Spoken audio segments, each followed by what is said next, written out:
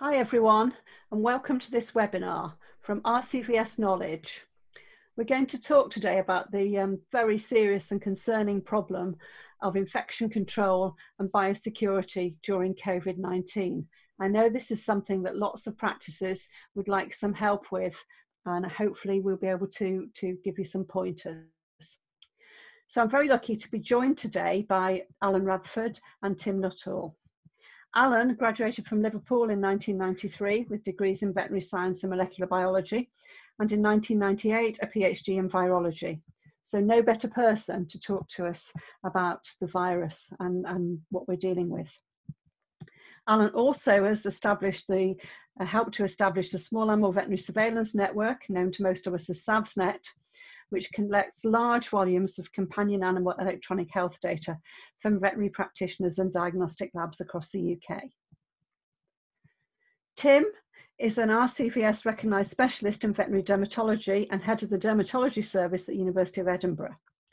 He has a particular interest in antimicrobial stewardship and infection control, has worked with the Bella Moss Foundation, the Scottish Veterinary Antimicrobial Stewardship Group, RCVS Knowledge and others to develop policies and guidelines. He's now, like a lot of us, working from home and he's learning what his two cats get up to all day.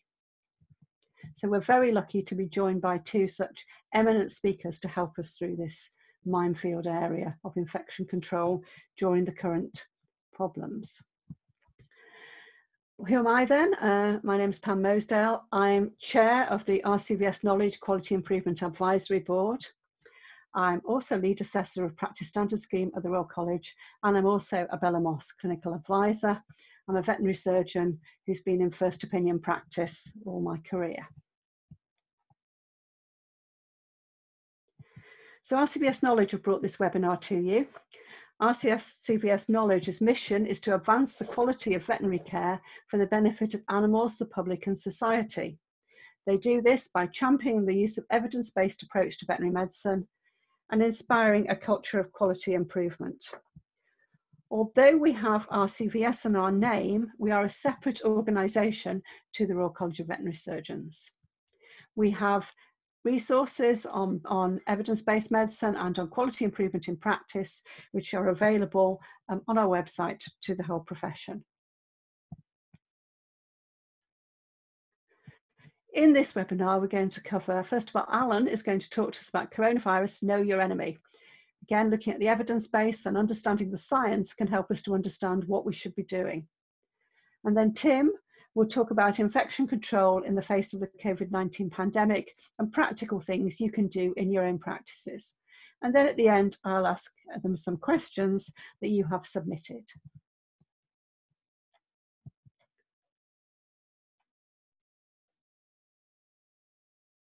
Okay, um, coronaviruses are um, um, they're viruses, they're obligate intracellular parasites, which means they need a host cell to replicate different to most um, bacteria and fungi and things like that.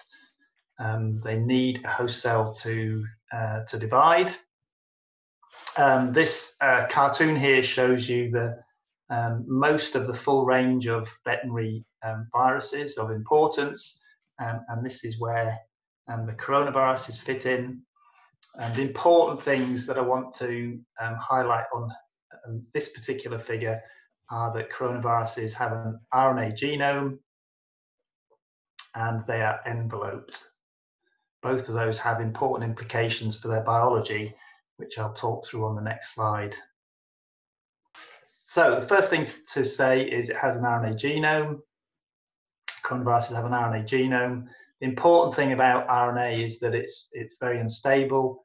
Um, it mutates very quickly, uh, and it allows viruses with RNA genomes to evolve very quickly. And that explains, in a nutshell, why we're having uh, the problem that we ha- uh, that we do with um, this new uh, coronavirus in humans. It's the mutation of the RNA genome uh, that's allowed it probably to arrive in humans. Um, the next thing, it has a lipid envelope. That's um, uh, really, really good news, actually. Uh, the lipid envelope is derived from the host cell and the virus uh, uh, exited. Um, it's essential for infectivity But being derived from lipid, it's actually quite um, fragile and means that coronaviruses are generally short-lived in the environment and relatively susceptible to soap and alcohol-based disinfectants. And it's why um, this sort of hand washing mantra, this hand washing campaign is so prominent uh, for uh, the control of transmission between humans. Uh, we all know we should be washing our hands um, more frequently. Um, the last thing, uh, the envelope is decorated with um, viral proteins, uh, um, which you can see in this electron micrograph here. And when that was first seen, the virologists thought it looked like a crown or a corona, and that's where the name of these viruses come from, the coronaviruses. Um, what I'm showing here now is a, um, a family tree of coronaviruses, at least as it was um, a few years ago. And I wanted to make the point that there are a lot of very well known veterinary viruses um, in, in uh, the coronavirus family, whether you work on uh, cats, so things like um, the, the, cause of FIP up here, uh, whether you work on um, pigs, lots of uh, respiratory and enteric uh, viruses in pigs. Uh, there's cattle um, coronaviruses and equine coronaviruses, and then down here, probably the other prominent veterinary coronaviruses, infectious bronchitis virus um, of, of chickens. So, um, as vets, um, vet nurses, we're all very familiar with uh, with coronaviruses, and, and they're a common part of um, of veterinary practice. If we look at the human viruses, uh, again, this is from a couple of years ago, so there, there are quite a few, um, generally associated with mild signs like, uh, like the common cold. And um, then I'll draw your attention to this one here, uh, which uh, was a new kid on the block in 2002 and the cause of the, um, the first SARS um, outbreak in people. Uh, this one was controlled really um, effectively through a worldwide campaign of identifying infected people and um, and minimizing their their contact. And luckily, it wasn't so transmissible. Although it was perhaps um, uh, more virulent, it was less transmissible, and we managed to eradicate it from the human population. Uh, the pictures of bats is to make the point that bats have a lot of coronaviruses. Um, and uh, it, they became prominent. We didn't really care about, bat coronaviruses, to be honest, until uh, it was found that the last SARS um, epidemic um, it, uh, emerged from a virus of bats, and you can see that here. Uh, these two viruses are very, very closely related. Um, and to cut a long story short, it's believed that, that bats are reservoirs of coronaviruses that occasionally spill out into humans. You can see that here. In general, however, uh, the other important message from, from this is that the veterinary viruses are, are really uh, the non-bat veterinary viruses, if you like, uh, are very distinct from the um, human coronaviruses. They're, so uh, we should be very careful when we talk about coronaviruses in animals that we make the point that yes, a cat may have a coronavirus, but it is no way related uh, to the coronavirus um, that we're all worried about at the moment. Um, they're really very distinct, and you can see that from this long branch length here. So what's changed? Um, well, if we zoom in on this little group here, um, um, what happened uh, towards the end of last year and the beginning of this year um, was the emergence of this uh, of a new virus in the human population, which ultimately became SARS coronavirus 2. Again, very closely related to bat viruses. This is a um, believed to be, not proven yet, but a, believed to be another spillover event, probably from bats, possibly by uh, via an intermediate reservoir. Um, it's not the same as the first SARS um, outbreak.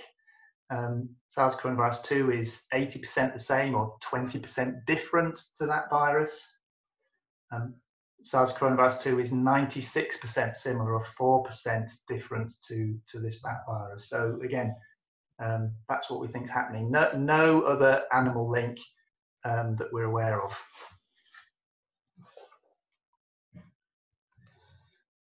That's where it came from. What about uh, SARS coronavirus 2 um, and animals? There are two reasons to think about. I put pets here, but we can think about animals, um, veterinary species more broadly. Uh, the first question is can they be infected? Well, uh, as a scientist, it's very hard uh, to say something uh, hasn't happened or will never happen. Um, but the current evidence um, says the risk is, um, I put here absolutely tiny, negligible. Um, there has been, um, that I'm aware of, um, a single case where a dog that was living with an infected person also tested positive for the virus. This is for the virus. the dog wasn't sick, it didn't develop antibodies, and the suggestion was that the dog probably wasn't infected, more had uh, virus on it. And, and, that brings us to the second uh, concern with animals, not infection itself, but I've called it here contamination.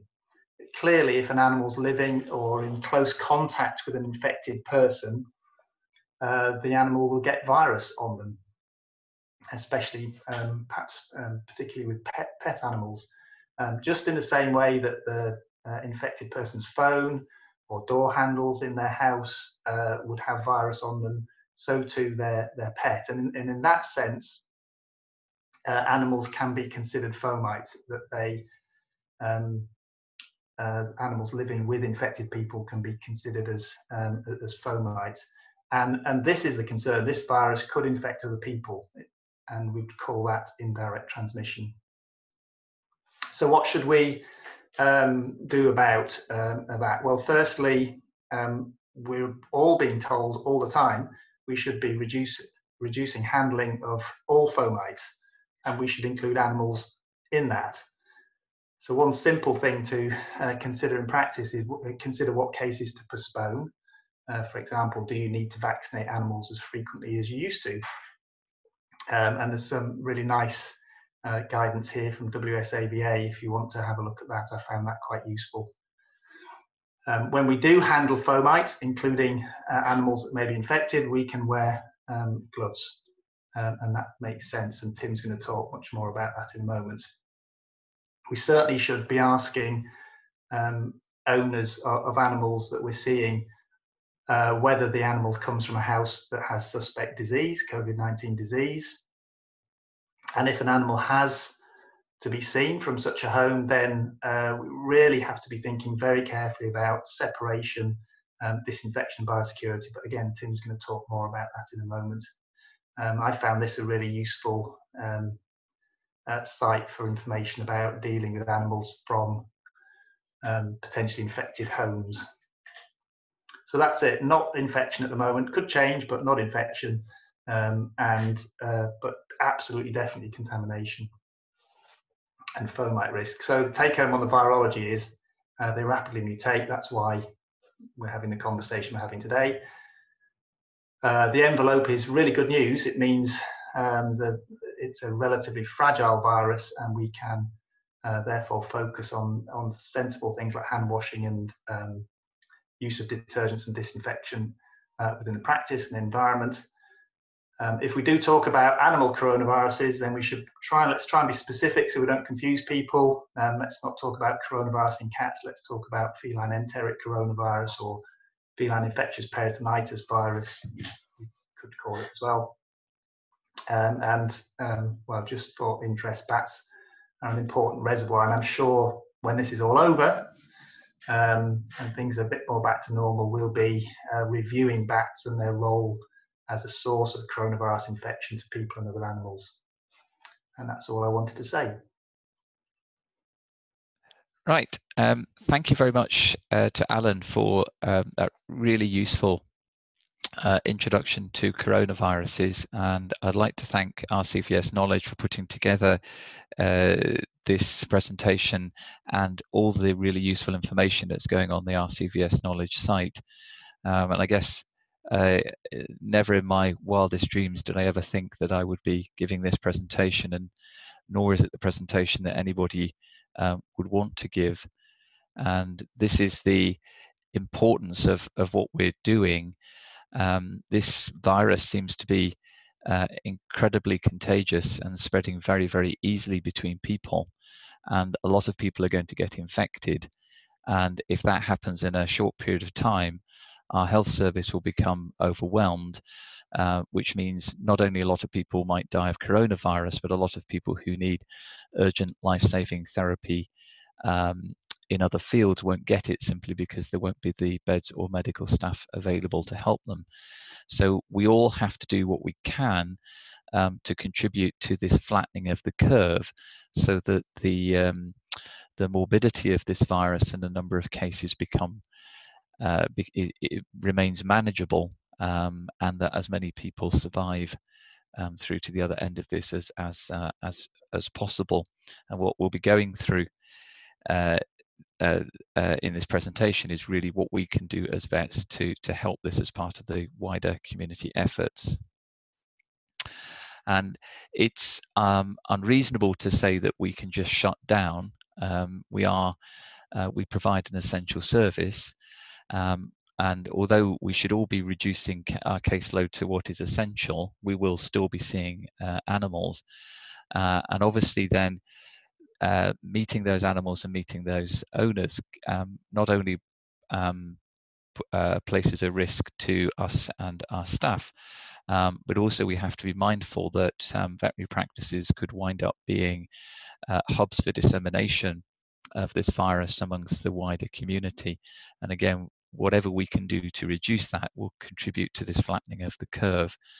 And this is where the infection control becomes very important. Uh, and I don't think there's ever been a time that I can remember um, where an immediate uh, and effective infection control has become so important, not just in veterinary practice, but throughout the entire uh, community. And this is something that I and others have been working on uh, very hard for the last few years. And we do know that a lot of bacteria um, are very good at colonizing um, veterinary practices and veterinary premises and equipment where these can get passed on between people and between patients. Um, but we also know that this is now true of coronavirus. Um, and coronavirus is, uh, is, easily transferred onto fomites. Uh, the main uh, routes of transmission are either direct contamination uh, from an infected person if you're very close to them, um, but also through fomites and contamination on surfaces. And under certain circumstances on hard surfaces, um, and, uh, and, these would be ideal conditions of temperature and humidity, which more or less reflect what we have indoors. Um, the coronavirus here can survive, or COVID 19 uh, is estimated that it can survive for several hours, and un- under certain circumstances, particularly in droplets, it can survive for several days. So we have to really think very hard about the challenge of fomites and, and how we use infection control to manage that. And this was data that was um, run by the Royal Veterinary College and the Bella Moss Foundation and led out by Anna Mateus and is a little bit old now in 2014. Um, and the good news there was that um, uh, more than 50% of the practices uh, and vets that were questioned uh, were aware of written protocols for infection control, but this still meant there was a considerable number that, that weren't. And this really now has to get turned around very, very quickly. Now, there is going to be a second uh, webinar that is going to look at uh, infection control in more detail. And what I want to do in this session is really just um, bring out um, and highlight the immediate points that we need to adopt as a matter of urgency uh, in face of this COVID-19 um, pandemic. And I'll be looking, picking out some areas on infection control, um, concentrating on hand washing, cleaning, um, and then how to manage social distancing in, in practice. And I think it's very important that these these should be written um, because everybody now needs very clear um, and very effective and unambiguous advice. And in particular, we have to remember that as people fall sick or become sequestered, um, we may have members of staff doing jobs that they are not used to doing and working in teams that they may not be used to. And so this advice needs to be very clear so that it can be immediately and effectively implemented. And again, uh, this is probably best put together by an infection control team, either within the practice or if you're working in a practice group or, or a corporate practice, um, then uh, it can be um, spread out throughout that group. And I know that some um, uh, practice groups uh, have shared their uh, infection control advice that RCVS Knowledge is going to be putting onto the website, and we're very grateful for that.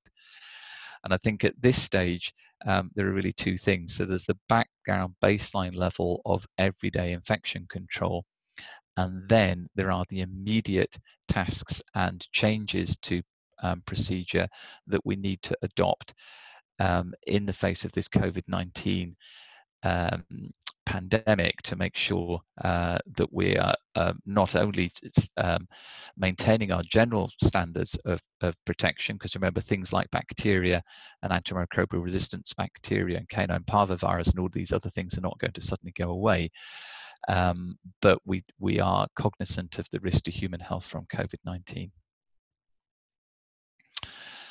And using um, simple infographics uh, and posters is very, very useful. And these can be put up both in the uh, sort of back room areas of a practice as well as the client um, facing areas. And these are ones that I, I got to by going on to the BSAVA COVID 19 uh, website and then followed a link through to the World Health Organization. These have been produced by their Western Pacific region. And it's just very good, very simple take home messages to reinforce to people what they should be doing.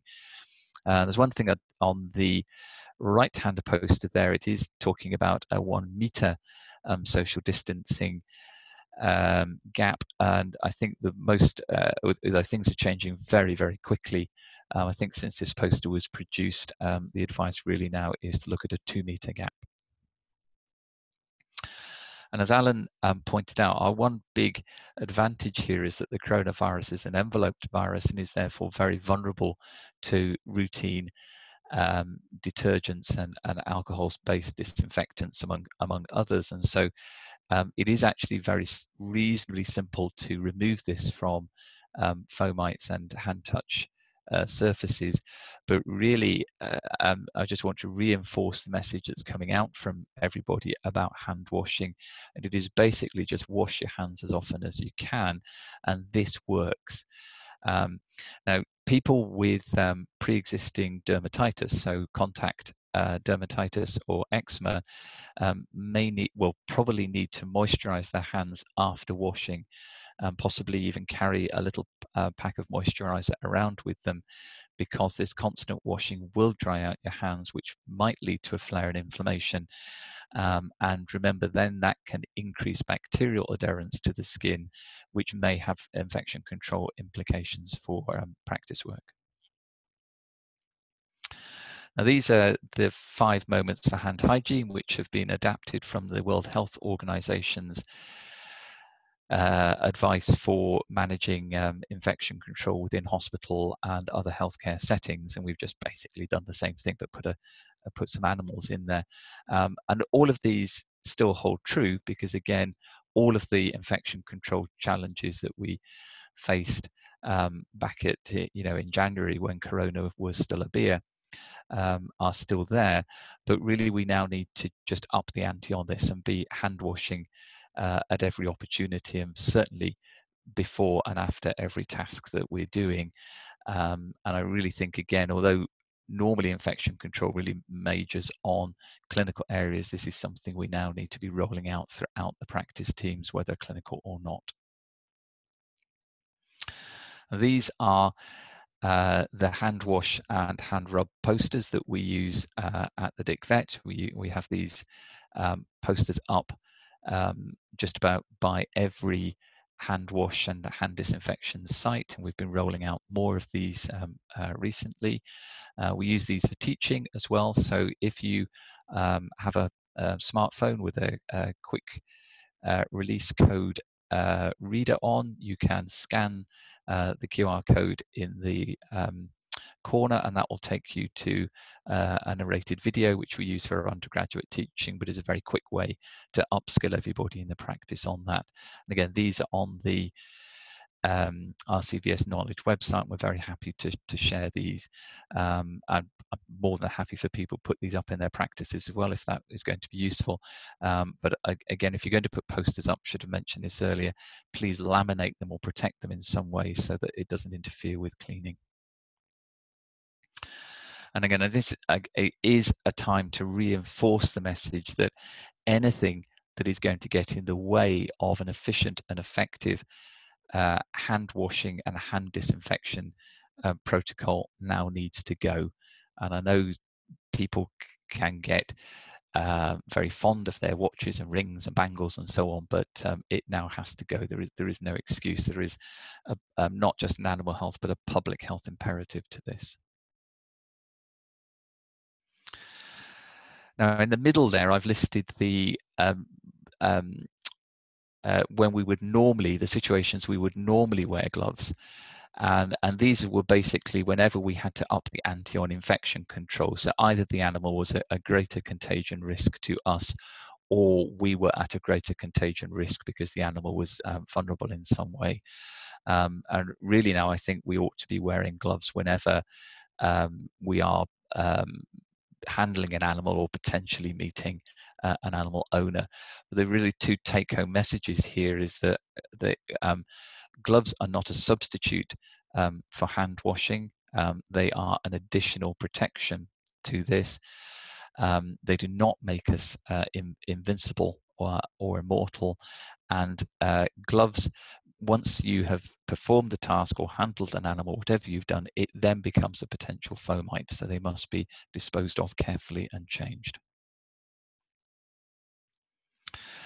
Now, um, other bits and pieces that we tend to forget about, because even if we're really focused on our hands, uh, we do have a tendency to forget about other other equipment, um, and this could be in, include anything we use with an animal or anything that we're repeatedly touching with our hands. And this does include equipment pouches, uh, stethoscopes. Um, there was a study a couple of years ago showing that in hospitals, stethoscopes were uh, carried more bacteria than, than people's hands because we just didn't think about cleaning them. And in the NHS, there's been a huge uh, program of, of getting clinicians and nurses to um, remember to clean their stethoscopes between patients as well as their hands, but also fob watches. We use smartphones, tablets a lot now, particularly as we're moving to paperless practices.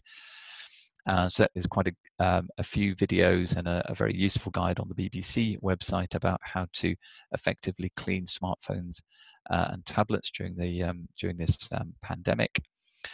Um, uh, otoscopes, uh, ophthalmoscopes would be would be other pieces of kit as well. Now, where possible, um, it would be ideal if, uh, particularly vets that are going out um, to see animals, so equine vets and farm vets had their own selection of equipment, and these weren't shared um, uh, between individuals, so everything's nicely sequestered. Um, but if if they have to be, they need to be very carefully cleaned and disinfected. again, I, I think, eh, um, as Alan said, and I'll talk a little bit about this later on, um, we, we um, have to regard an animal um, as a fomite, um, but also we have to regard anything that animal is coming in with as a potential fomite as well. Now, the animal we can't do anything about. It's, it, you know, we swore an oath um, to, to look after the, the health and welfare of any animals committed to our care um, and that you know that's the job we've signed up to do but we can minimize this risk by just not admitting anything into the practice that, um, that is a potential additional fomite so i think nothing now uh, aside from the animal should come in and if we do need to admit uh, animals then they should all the leads and other equipment should be uh, clean allocated that animal for the duration of its stay um, and then disposed of or cleaned and disinfected um, before uh, it, uh, it's it's used again. Now, dogs it's reasonably easy. We can quickly swap over leads outside the practice. Um, cats um, and other exotic species perhaps a little bit more difficult, but I think again outside the practice, the carrier can be taken uh, off the owner as soon as is practical. The animal can be moved into a carrier that belongs to the practice um, both are wiped down to remove uh, any potential virus contamination, and then the basket or so on could be returned back to the owner.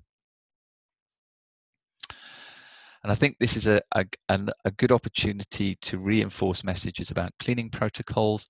Um, and again, this is something that will be covered a little bit later in the um, in the second um, set of presentations.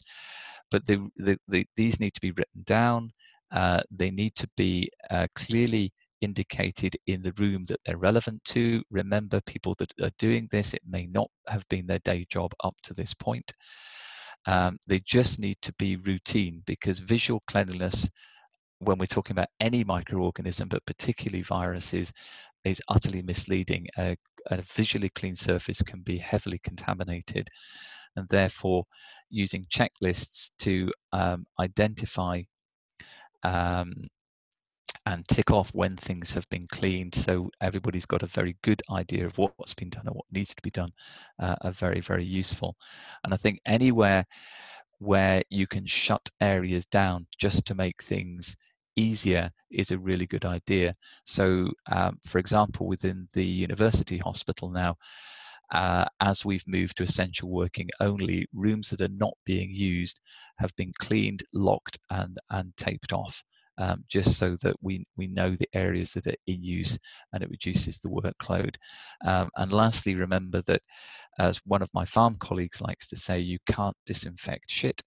Um, so you know that it really is about cleaning and then disinfecting. But with the good news that COVID-19 is is pretty vulnerable um, to most uh, detergents and uh, disinfectants.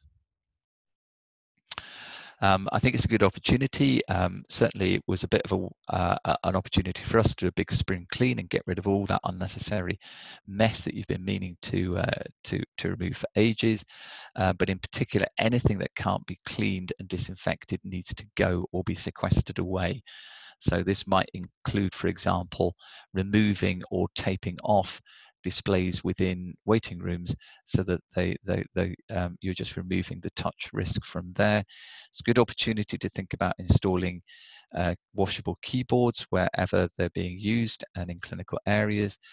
Um, it, it, you could use these keyboard gloves um, or uh, you can wrap um, keyboards in cling film. It's pretty fragile. That's the only disadvantage. So as soon as it becomes torn, um, it would need to be um, removed and, and replaced.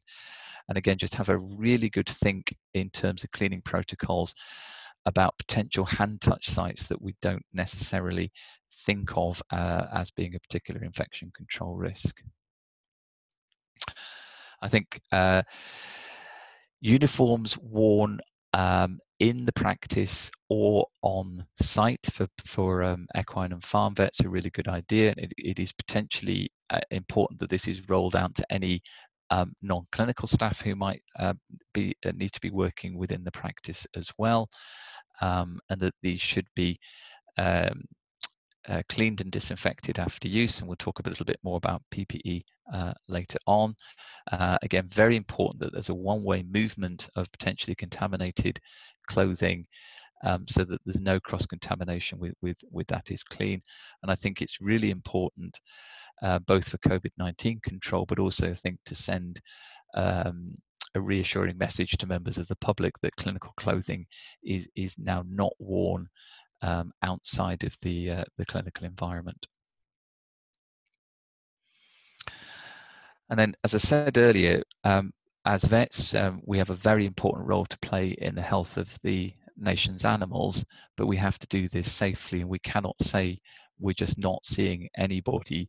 So we have to do what we can to do this as safely as possible. And this basically means uh, two things really. One is maintaining the social distancing rules, which is now um, at about two meters. Um, um, uh, and then uh, maintaining hygiene and, and hand hygiene. So things that uh, people can do and establish protocols for their practice. And I think the big first thing is we're down to essential cases only, do whatever we can remotely, um, so long as that doesn't interfere with the animal's welfare or our, our CVS oath. And the BVA has produced a very good uh, and very succinct set of guidelines. Um, it's only about two, two or three pages long. Um, it's going to go on the RCVS knowledge site. You can also get this off the BVA site. Uh, and that covers um, some really key messages about um, handling patients in small animal uh, uh, farm and equine practice. And some, some key points are um, appointments uh, should be made remotely. Um, and, and, and again, anybody who does not need to be in the practice should not should be self should be working from home, and that could include account staff and reception staff, for example. The first question is to ask about the owner's health. Um, or the health of the, any of their in contacts. Um, and if there are concerns either from a known COVID 19 household or a suspect one, then greater precautions need to be taken. But do please remember that um, not being ill does not mean you're not infected with this virus. Um, so it, it, it, you know, don't be complacent with that. Um, uh, uh, owners basically shouldn't come into the practice um, unless it's absolutely necessary. So consultations can be carried out by phone, um, by email. Um, it, um, it's entirely possible for the owner to remain in a car uh, in the car park and then have a phone conversation with the vet. Um, all of this just minimizes the time with people in where you're in potential contact with them and in, in the same airspace. And then remember just to minimize any risk of taking additional fomites into the practice. Um, but uh, so um, but do record everything. So again, if there's verbal consent, um, make sure that's recorded somewhere or consider the use of an online consent form.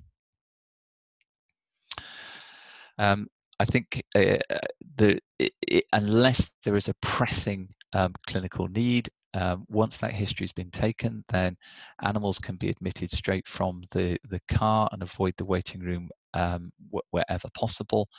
Uh, a, a, lead can be given to, uh, uh, as I said earlier, to slip onto the animal and bring them in, or you might just have to um, take the basket into the practice and then exchange the animal and take the basket back out again, making sure that you're absolutely staying uh, outside of the social distancing uh, area, um, maintaining social distancing, sorry, wherever possible, and wearing gloves when we do that. Um, there, there should be uh, one uh, client or owner per animal or consultation. And again, if you're visiting uh, off-site premises, so stables or a farm, restrict the visit, restrict yourself to only to those areas that are absolutely necessary for the clinical job to do. Wear gloves at all times, and then uh, think about immediately disinfecting any hand-touch sites or equipment after use, and that would include regular disinfection of, of vehicles, so steering wheels, gear sticks, um, handles, and so on.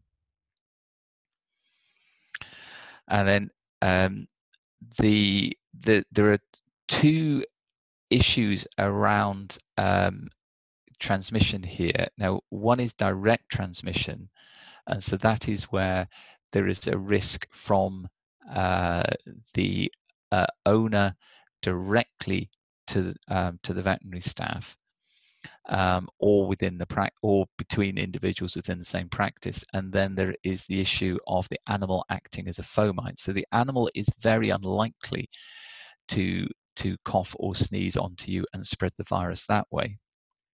But it could act as a fomite that you pick pick up. So I think gloves, uh, the, the, the basic minimum would be gloves, a hand washing, and then disinfection, immediate disinfection of hand touch sites and equipment, and resisting um, uh, as much as we can the temptation to touch my face. And it's only start since I've started thinking about this if I have I realised uh, how much we just do this unconsciously. I think um, uh, full PPE, um, and I think I think there is a, a, two issues around this. One is that um, a lot of PPE could wind up now. We could wind up running out of it in veterinary practice because uh, it is going to be prioritized for use in um, uh, in human health and, and rightly so. So I think we have to be sensible about this. Um, ration what we have and only use it where absolutely necessary. So, for example, this could be where we wind up having to see an animal from a known um, COVID uh, 19 um, positive house, or potentially even go and pick up an animal from an, a known or suspected COVID 19 uh, house. Um, and I think there uh, we could upscale to an apron. I think face and eye protection would only be necessary from the animal where there is a, a splash risk. Uh, again, if we had to go into premises where where there are known uh, it's a known positive household or a suspected one, then and it, you know that would be a very rare uh, occurrence. And if there was no alternative, but I think full PPE could be considered at that point. Um, practical social distancing, you can see my two colleagues there um, holding an animal. Uh, I mean, to be fair, that was uh, taken before the pandemic started, uh, but within veterinary clinical work, uh, it, it is difficult to stay two meters apart. So what we're trying to do very much is use open areas um, uh, and make sure that they're well ventilated. And then what we've done is um, is divided our team, sequestered our teams um, into the or, or, sequestered our staff into these non-overlapping teams. So first off it's essential staff only, and then second they're working on this team base um, and they the, the different teams have no on-site or off-site contact. So we have a clear divide and there's no crossover there's no chain of transmission between our, our different teams there. And then within the hospital and other areas and other sites we're maintaining uh, again a sequestered environment. So for example our pharmacy staff only work in the pharmacy now and nobody else goes in um, uh, again to break the chain of transmission. Uh, little things we use um, remote pickups now. So again, there's no direct human to human contact when either we're sending out samples um, uh, or posting drugs or owners are coming in to collect drugs. And again, uh, at the moment, uh, we're establishing how urgent the need is and looking for other alternatives. So this could be written prescriptions for use in online pharmacies or using a courier service or the post if there's no delay following um, guidelines from uh, the government about um, and post office about safe handling. Um, and certainly we're wiping down anything uh, that has been handled before it goes out to the practice. Uh, if we do see animals and we don't, um, we only admitting them if absolutely necessary, and then uh, they are being discharged straight back to the owner outside of the building um, in a reverse of the sort of admission procedure that I mentioned earlier, and all of the subsequent discharge information is done by phone uh, and email. Um, and again, I mentioned the use of PPE, um, and this is something where practices may want to check their supplies and with increased turnover of PPE, their waste disposal arrangements, and be cognizant that uh, we might find things like eye protection, masks, um, and possibly even aprons or full gowns uh, are being uh, prioritized for human use. This is uh, this last slide here is not really about infection control, but I am aware that this is uh, the, the, the shutdown and the lockdown is causing a lot of worry and stress um, both for practice staff um, as well as uh, animal owners um, who can often feel very worried and very isolated. And I think practices can work, can act as a source of trustworthy uh, information and support their clients. And this is particularly true for uh, vulnerable clients.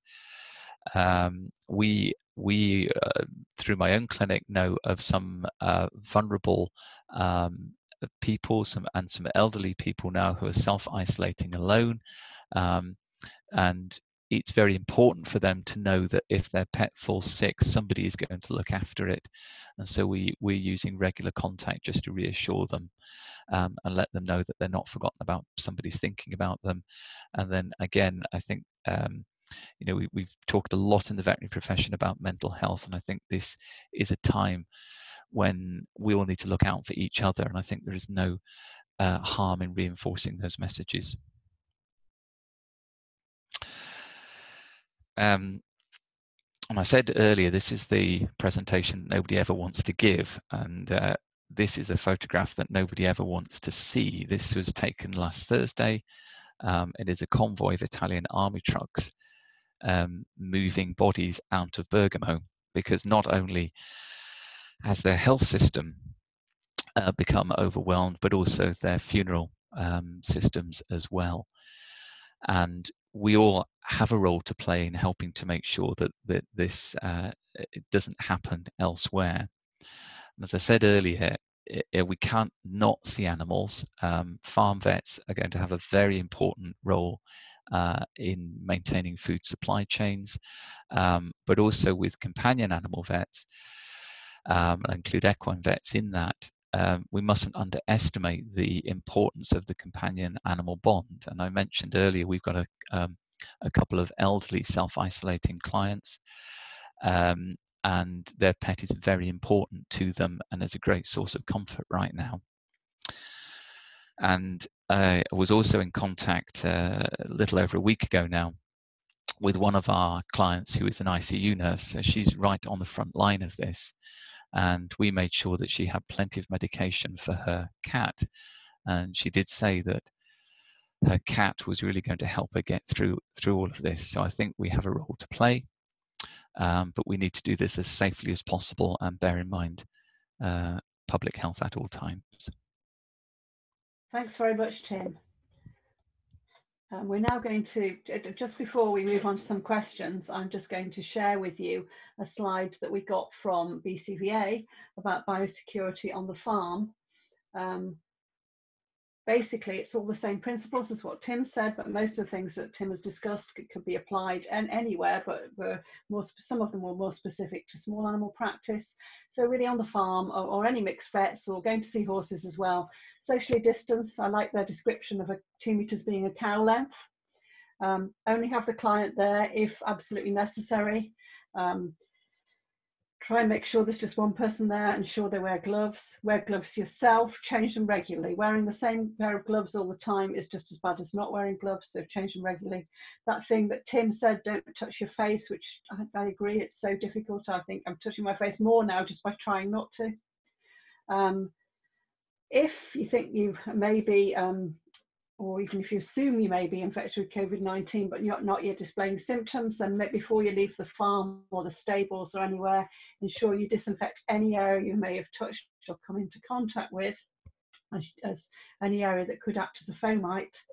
Make sure that your PPE is is cleaned and, and kept to, to one vet wherever possible. Wash your hands thoroughly and the last thing, however good the, the tea and cakes are, don't go into farmhouses, don't go into um, clients' houses, um, just keep to the area on the farm or in the stables where you need to be.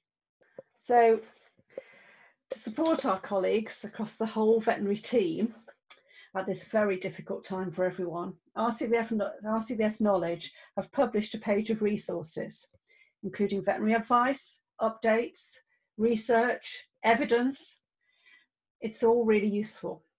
Thank you to everyone who's worked with us, with us to put this together and thank you for people who've donated their resources to this.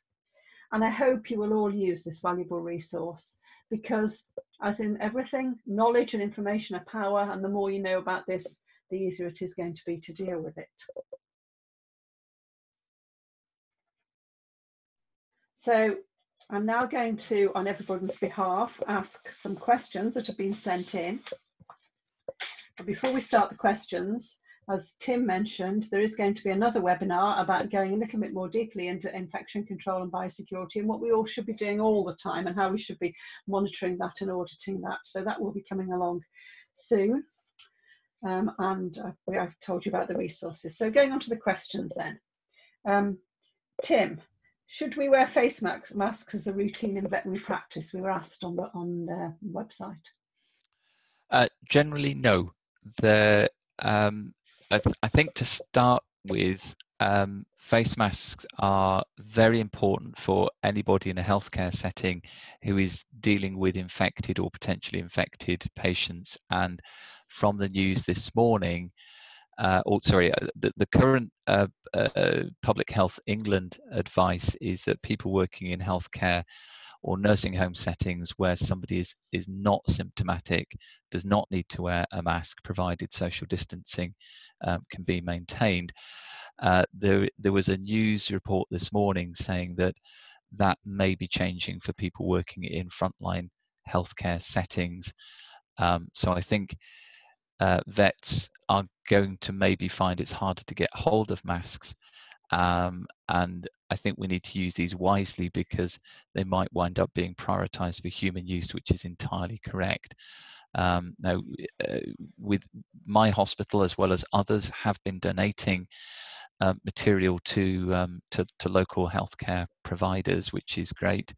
And we've reduced our mask use down to um, the scrubbed in surgeons only, even in our uh, in our theatre settings. Um, again, uh, you know, and again, knowledge is changing, advice is changing almost on a daily basis here. But the the animal is a fomite rather than a direct infection risk, unlike working with uh, a, um, uh, meeting members of, of, of, the public. So I think provided that we can stay within, uh, maintain the social distancing, um, albeit there may be an instant where you're just quickly handing over a basket or uh, taking the the animal the dog away on a lead where you may be within that social social distance the, the, the risk there is is very small. And i think hand washing gloves social distancing are the key messages we want to get across. Um, if an animal has come from a covid-19 positive household and I, I, um, uh, and again, ideally, that should be uh, a, a, neighbor uh, or or somebody else bringing it in, rather well, uh, rather the infected people who should be self isolating. Um, then uh, an apron uh, might be advisable just because of the increased fomite risk there. And I think I would only put a mask on if there was a real risk of a, a, a, splash. Um, or aerosol risk when when handling the animal. But I think that's that that's a set of circumstances that are uh, you know getting less and less common. So I think generally no would be the answer. Thank you. That's great. Um, Alan, can I just ask you a question that's been sent in? Um, in? in? view of what you've told us about the virus, someone sent in a question. What should we use to clean practice premises, consult rooms, reception? Um, this particular practice um, even though they're trying to keep clients out of their um, their areas. They're in a pet shop, so there's always people walking past their reception desk, always people in the shop. So what should they be using to clean the premises? I think where we're focusing on um, the coronavirus issue, then we're lucky because of the uh, envelope, and so the um, chemicals that we use don't need to be particularly um, severe uh, if you look at government recommendations around, uh, you know, people places like old people's homes and and so on, they're just recommending uh, either detergent disinfection, uh, disinfectant mixtures, or um, or separately a detergent then a disinfectant. Um, and the, the, disinfectant they just talk about uh, being a thousand parts per million available chlorine. So that's something you can use. It's not, um, you know, you don't have to be using a, a specifically formulated product for veterinary practice. Um, a, a, lot of the bleaches and disinfectants we have in our own homes and we use to, you know, clean the table or the kitchen worktops will, will probably be fine. Just check that um, if if you if you're really concerned. Just check the um, amount of chlorine, a thousand parts per million available chlorine. Okay, I, am following on from um, what what Tim said about things becoming less available. So uh, we also had someone ask if the normal disinfectant they use is out of stock, how would they know which disinfectant to use?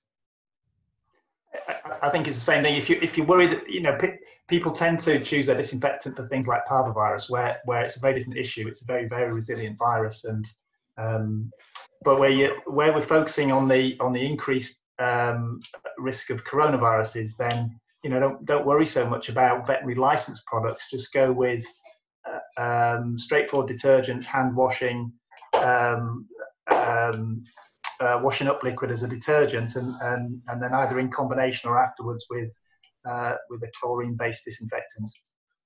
So we don't need to panic if we can't get the um, disinfectant we normally use in, in the face of parvo, etc. But yes, for coronavirus, if you've got a parvo case in your practice, then again, yeah. you know, you need to you need to think differently. But if it's this this uh, routine extra disinfection that Tim's really nicely talked about around the practice or around a pet shop, for example, uh, then yeah, don't panic if you can't get the uh, uh the parvicidal product that you would normally use. And I think on our um, resources, we've got a link to um, some DEFRA information about all the different disinfectants. So that could be an interesting thing for people to look at. Um, Tim, following on from the question about face masks, some another person has asked, sorry, I haven't got people's names, so um, but they've asked, what PPE should vets use when dealing with an animal from a suspected or confirmed COVID-19 household? Uh, I, I, I, think again the key messages are gloves, hand washing, social distancing, um, and then also to set up a really uh, a, a, plan of how to manage this beforehand, and, and, that's going to be a little bit different for all practices and might and situations, and might involve how you uh, get the animal to the practice and then and then how it's handled after that. Now I think at an extreme end, if there was no other way of getting the animal so if you had i don't know an elderly isol- self-isolating person um, who nobody else could help and they they had a big collapsed dog um, then then I think in that extreme set of circumstances somebody's going to have to go into into the household and at that point they should probably wear um, gloves apron or a, a, a disposable protective suit uh, and a mask. Again, I think eye protection, so long as you don't, uh, you, you maintain a social distance from the owner. Um, there's no splash risk. It, it, may not be necessary, but again, goggles could be worn. And again, um, DIY type goggles that can be cleaned and disinfected are, are ideal for that. Um, I think uh, uh uh, depending on who brings the animal in um, and and the handover procedures, I think the PPE there needs to be uh, sensible. Um, I think again, if if it's uh, a neighbour who's not showing any any clinical signs and you know if they've if you know the, the uh, if they've been able to collect the animals safely and this could be you know um, a lead being slipped out of a door and then an animal being taken that way, or a cat in a basket left on the doorstep and the basket is this is, is wiped and disinfected, or you know if it was safe to do so, um, the dog being put in, you know, let out the front door into the garden, the neighbour comes and picks it up. You know, there are all sorts of things that could be could be addressed.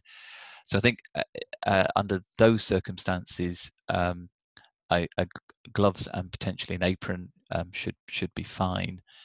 Um, uh, you might want to upgrade that if there was a, a, um, a splash or an aerosol risk.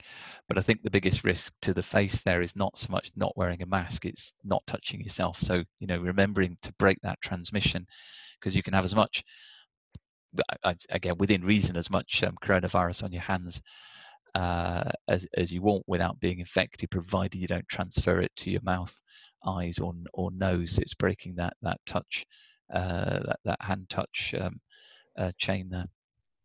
Okay, thank you. And another question. Um, uh, somebody's asked another question about a, a pet coming from a, a, patient coming from a COVID-19 positive or suspected household. Should we be bathing these patients that come from, from these houses? Um, I think that's sort of a difficult one to answer, and I think the pros and cons of this need to be looked at for each individual case. I, I would say if it's something that can be dealt with reasonably quickly without having to admit the animal, I would probably not bath it. Um, in that, I think the additional exposure to the practice, the staff, um, the risk of aerosols and splashing and so on probably outweighs any benefit that you could have from the bathing. You know, uh, given all my comments earlier about uh, gloving, social distancing, hand washing, and hand touch sites, and so on, um, I think if you were admitting the animal, um, there is an argument to say, well, if you used a, a detergent, um, a, a uh, sorry, detergent-based shampoo on the animal, you are again reducing the risk of of, uh, of bringing any um, COVID-19 into the practice. But again, I think that's got to be mitigated against all the other risks in terms of contact, availability of PPE, availability of washing uh, facilities. Um, do you, does that mean you have to take the animal right the way through to the back of the practice, past you know all sorts of other people and and so on? So I think uh, gen- generally, well, to keep it simple, generally, no. I think in certain circumstances it may be advisable, but I think that needs to be looked at very carefully on, um, on an individual patient basis. Thank you. And obviously, sometimes emergencies are such that uh, you know you wouldn't want to be taking time to be bathing the animal anyway, yeah, or it wouldn't be appropriate. Yes, if it's you know if it's got um, it's in respiratory distress or it's got a broken leg or something, I think I think you know bathing is the last thing you want to be doing. Okay, um, and then another um, question.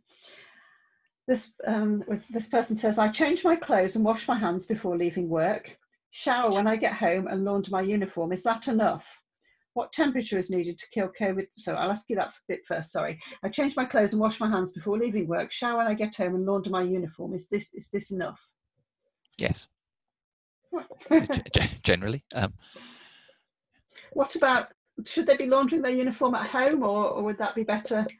Better leaving the uniform at work and it being laundered there. I, th- I think if there are laundry laundry facilities at work, it would be better to uh, to leave them at work, and you're just breaking any, any risk uh, uh, that there is. You just it's all about breaking chains. It's about building firewalls wherever possible and and and stopping that chain of transmission. Um, so I think if that's possible, then that that's ideal. If it isn't, um, then you know the usual infection control um, measures apply, which is you know securely bag any clothing um, uh, before taking it home, and then straight into the uh, the washing machine.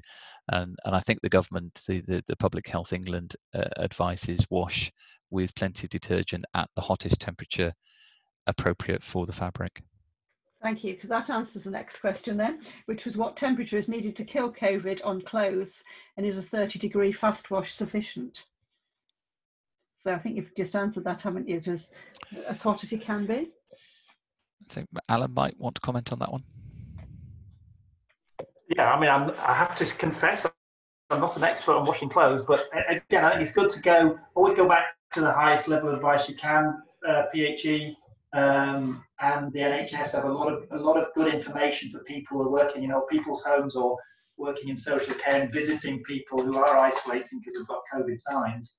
Uh, and that's what they recommend for those people. You know, in your washing machine, uh, the hottest temperature the clothes grill uh, recommended um, with, with, an appropriate amount of detergent. And again, it's uh, it's a virus. It has an envelope.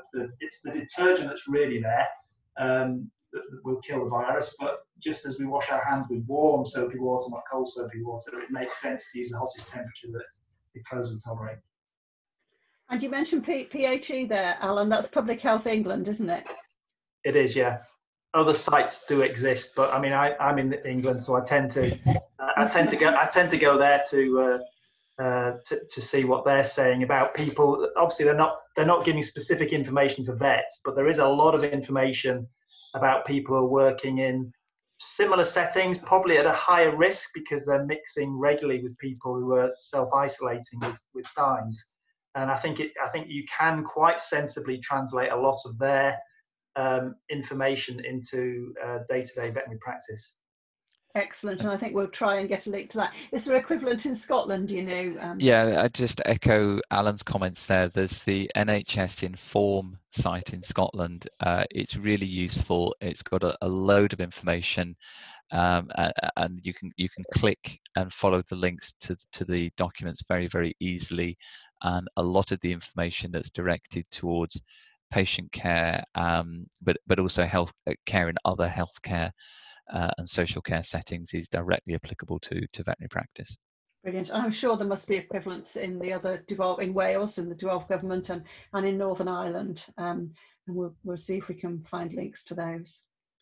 Um, so one question, we'll finish with one question now, uh, um, which is, should staff still be travelling between branches in a multi-branch practice?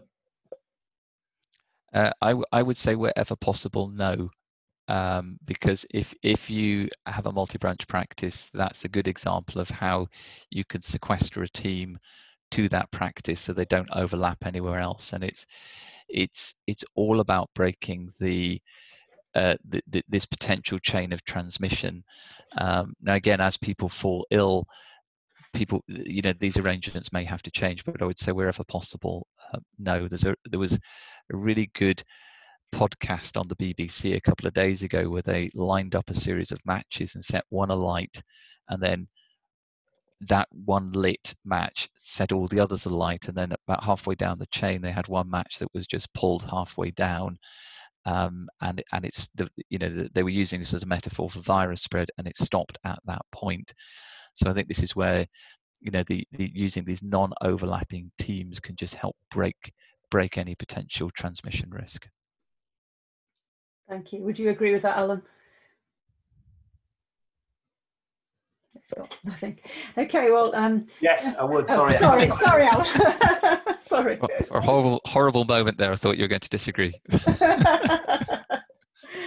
I know. Well, thank you both very, very much. That's been so useful. I've I've learned an awful lot, and I think it's made me feel a little bit more confident. I mean, the problem with these times we live in is that there's very few certainties. Everything changes day to day, but I think having information is the key to to um, trying to find, know what the best thing to do is. So, so thank you. You've been absolutely brilliant, both of you, and I hope that we've we've helped um, or everyone listening to, to have a bit more understanding.